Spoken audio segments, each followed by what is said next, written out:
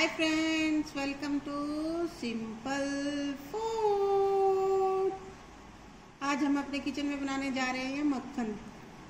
ये मैंने पाँच छः दिन की मलाई उतार रखी है। थोड़ा सा दूध भी है इसमें। इसको हम मैश कर लेंगे। हम इसका, अमूल का मक्खन बनाएँगे। इसके लिए मैं इसमें थोड़ी सी हल्दी डालूँगी। अगर आप इसका व्हाइट मक्खन चाहते हैं तो व्हाइट भी निकल सकता है। आप इसमें हल्दी ना डालेंगे तो इसमें वाइट ये व्हाइट बन जाएगा। हम इसमें हल्दी डाल लेते हैं और थोड़ा सा नमक।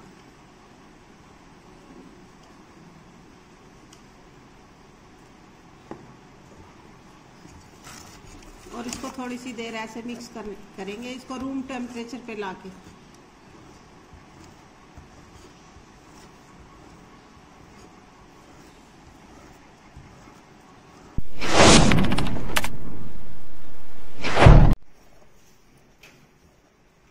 ये देखिए गाइज़ हमारा मक्खन बन चुका है, हो गया तैयार। इसको हम ठंडे पानी में डाल लेंगे।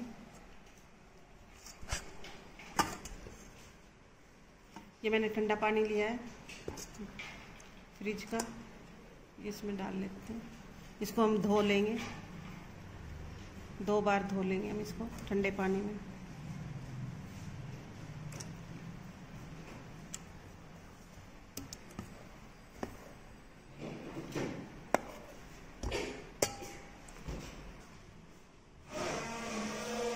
ये देखिए गाइस हमने इसको अच्छे से धो लिया है और ये हमारा मक्खन बन के तैयार हो गया है।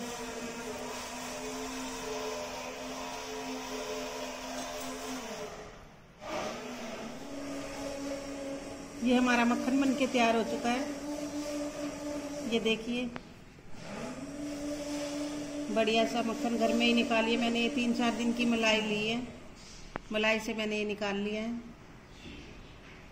ये खाने में भी बहुत अच्छा लगता है। इसका टेस्ट बिल्कुल अमूल के मक्खन जैसा है। अगर आपको इसको व्हाइट मक्खन रखना तो इसमें हल्दी ना मिलाना तो आपको ये व्हाइट मक्खन निकल आएगा आपका। Thank you for watching please share and subscribe bye try it